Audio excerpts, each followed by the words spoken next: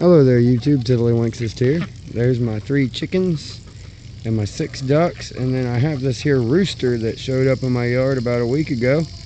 Named him Foghorn Leghorn and I absolutely love him.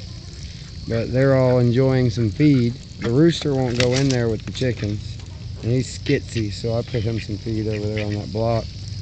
But as you can see they're the happiest, fattest ducks and chickens in the whole wide world. There's their pool over there. They get their water there. They do all their swimming. They got a little, I put an owl box in there, and that's what the chickens like to sleep in. I took a washing machine, flipped it upside down, and took all the guts out of it, and that's what the ducks use. That's what they use for their uh, little house to go nest in. They got all this extra room in here to run and be crazy.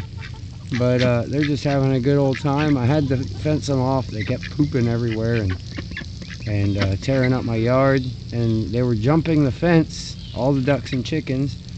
Uh, even though the ducks have their wings cut and the chickens can't fly too good the chickens have somehow learned how to fly upwards. And we're getting in my garden and tearing everything up. There's foghorn leghorn there.